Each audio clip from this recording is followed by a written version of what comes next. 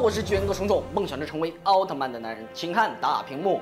这个摆着 V 手势的奥特曼，他是谁呢？赶紧在评论区中告诉我们答案吧。上期我们的答案是 Green Dam，你猜到了吗？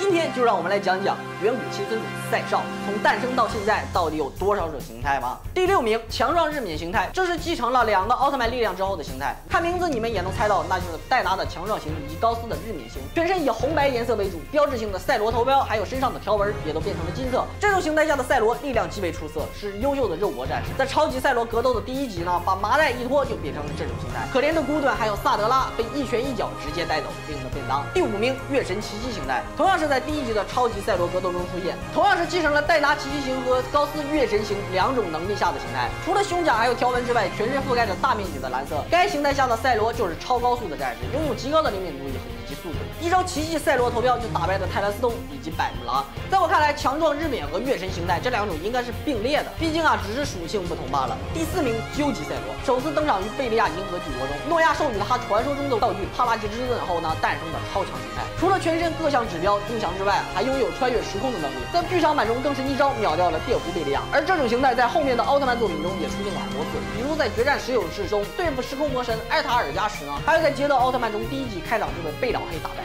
第三名，黑暗赛罗，这种形态是出现在超级赛罗的第二季中，你这也不能算是赛罗一个人的，应该也算是贝老黑的一种形态。贝利亚的灵魂成功入侵到赛罗的身体后所诞生的强大黑暗战士，外表看起来就是赛罗，但是身体上的颜色却发生了巨大的变化，身体上的条纹变得和贝利亚相似，都是红黑相间的，同时头部变成了青黑色，连眼睛也变成猩红色。该状态下的意识完全就是贝利亚所控制的，而且实力极为强大，一挥手就斩杀了詹伯特，并且摧毁了北北基地。红莲火焰、詹奈以及镜子骑士三人联手的情况下，依然不费吹灰之力打三人。第二名，光辉赛罗，这是光辉的第二强大的形态。虽然自己的身体被贝利亚所占据，但是由于同伴还有屁股们的鼓励与呼喊，赛罗的意识被成功唤醒，而且还诞生了更强的形态，那就是光辉赛罗。该形态下的赛罗全身散发着耀眼的光芒，外面有很大的变化，眼睛和监视器都变成了湖蓝色，同时身体以金色和白银色为主基调。别看赛罗这次穿的土豪，那实力也确实在那摆着。打败贝利亚简直轻松的不能再轻松，一伸手就直接将他赶出了自己的身体。